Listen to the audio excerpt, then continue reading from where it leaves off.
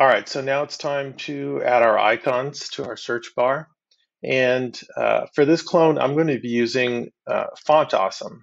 So Font Awesome is an icon set, amazing icon set with over uh, 7,800 icons to choose from. It's why I love it. Um, I can find pretty much any icon I'm looking for, um, and there's just uh, an insane variety of them, including branded icons and things like that. So um, you can create an account for free, and when you do, um, you will get a uh, CDN, um, which is really just a um, static URL that you'll be able to use to reference the Font Awesome library. Um, so once you have that, you can add Font Awesome to Bildr, and I'll show you how to do that. Um, so in Bildr, you're going to come over to the left panel and go to Page Headers, and you're going to add a new page header. And I'm going to call this Font Awesome. And I'm just going to paste in uh, my CDN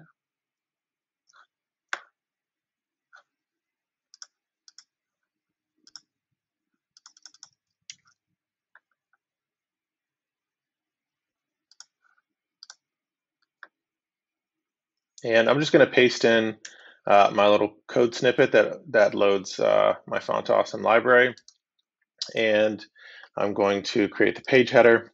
And then I'm going to tell it that I want it to load in the studio um, and load on all root pages. Um, this makes it just really easy for me to build in the studio without having to preview the page to see how the icons look.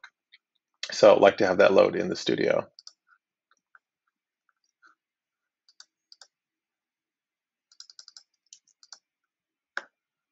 So once I have that uh, loaded, I can now add icons to my page. Um, so I'm going to want to put icons inside of this search bar. And the way I do that um, with Font Awesome, you can use um, a few different element types um, to add your icon. Um, I like to use just a text span element. So I'm going to drop this in here and um, I'm going to remove the display text because I don't need that.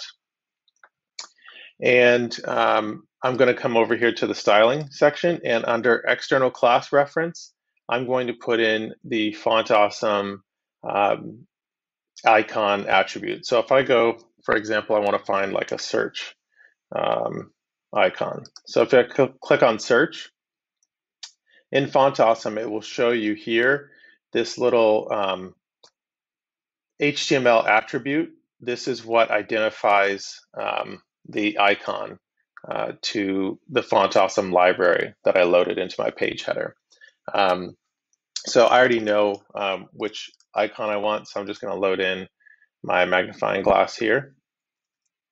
Um, so now I want to um, style style this uh, magnifying glass as well. Um, so I have a color that I want to use, and I'm going to add that to my styling.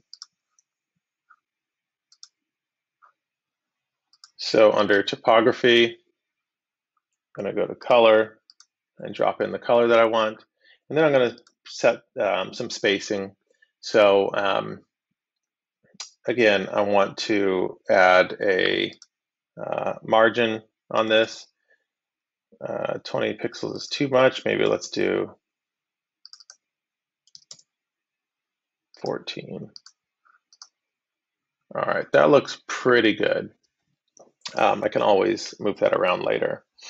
Um, so I have my icon. I'm just going to give this a name, icon search.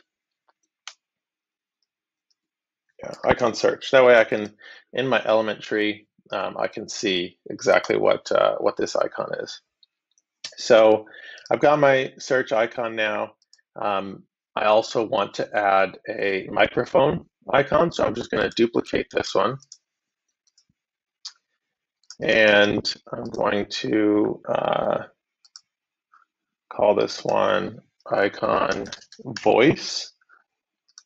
And I paste in my font awesome tag for this and you'll see that it changes to the microphone. And there's one more I want to add, um, which is the X icon or you know the clear icon. Basically, when you've typed in a search result and you want to clear it out.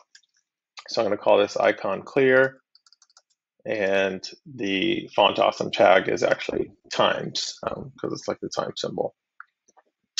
All right, now these are all scrunched together. That's obviously uh, not how I want this to lay out. Um, but there's one more element we have to add before we um, fix the layout, and that's the actual input for the search. So what I mean by that is right now we have a div that um, looks like a search bar, but you can't actually click into it. You can't actually type into it. Um, there's no search functionality, and that's because you need an actual text input. So I'm going to add one more element, which is an input. And down here in inputs and fields, I'm just going to use the text input. And I want it after my search, but before my other icons. So here's my input field. Um, I'm going to add just a little bit of styling to this. Um, first of all, on the size, I want to set the width to 100%. And this will just uh, make sure that it takes up the full space. And let's do this. Let's add our flex to this div. So I notice it's not laying out properly. I want to hit flex and that will give it uh, this row layout that I'm looking for. So let's go back to our um, search input. And before I forget, I'm going to name this input search. All right, so um, let's fix this border. So it has a border on it right now. I don't want a border on it um, because I want it to look like it's part of my existing uh, search bar. And then I also want to set the font size to 16 pixels. So I have something a little larger. Now that's starting to look a lot better. And I have something I can type into and you see how that works. So it's looking good. Let's go ahead and take out the default uh, placeholder text since Google doesn't have that. And lastly, I'm going to format my icons so they have some um, padding and some, some margin. Um, so let's go ahead and set, um, let's do our search. So it's just too close to the input right now. So I'm going to add a 20 pixel uh, margin on the right just to push that search bar over a little. And then for my clear and um, voice icons, I'm going to add the same thing. So on clear, I want this to, to have a spacing where it's 20 pixels away from that, that voice icon. And on the voice icon, I want it to be about 20 pixels from the edge of the search, I mean, of the uh, input bar. So now that's looking good. Spacing looks right. Um, I think this will do the trick. Um, now, a couple things before I add the functionality to it. Um, this clear X that will uh, eventually X out our selection. Um, I really want this to, um, well, actually, all of these, I want to have the cursor change when you mouse over them so that the user knows um, that it is something that they can click on. So um, I'm going to come here to cursor and pointer and change the cursor type to the pointer. And let's do that for these others as well. Pointer, pointer. So now when you mouse over them, you know these are buttons that you can click on. And then the last thing I'm going to do is on this clear, um, because this is something that uh, will only display once we start typing, I'm going to actually hide this by default. So under display, I'm going to click this uh, hide, and now our icon is there. It's just hidden at the start. Um, now, one nice thing about Bildr um, that I'm going to leverage for uh, this tutorial is if you've got a element that you've built like this search bar and you put a lot of work into it and you want to reuse it, you can uh, turn this into a block. Um, and what that will do is that'll allow you to reuse it in other areas and other pages um, in your application.